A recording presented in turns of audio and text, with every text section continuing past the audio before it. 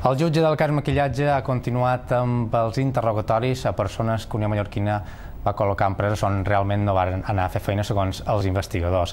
Els imputats assenyalen Cristina Sardó, Mateu Canyelles i la exsecretària tècnica de Miquel Nadal, quan era vicepresident del Consell, com les persones que els oferiren fer feina a través de contractes a empreses properes al partit. Gregoria Morat ha estat secretària municipal d'Unió Mallorquina a Palma. Anteriorment s'havia dedicat a fer enquestes pel partit, una feina que no recorda si va ser Mateu Canyelles o la secretària de Miquel Nadal, Eugènia Canyelles, qui li va oferir. Cobrava en metàl·lic i estava contractada per empreses pròximes a UEM a les quals mai va treballar.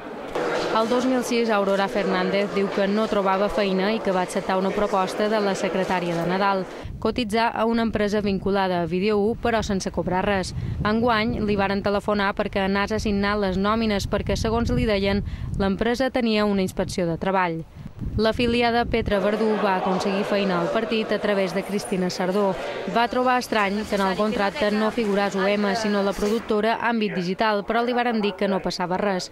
També enguany va haver d'anar a signar les nòmines i per si la cridava el jutge, li varen dir quina havia estat la taula de feina i el seu horari laboral. A través de Cristina Sardó i de l'Infof també va fer feina per la regidoria de Medi Ambient, tot i que realment assegura que es dedicava a regalar papereres de reciclatge i excursions a Cabrera a seguidors del partit.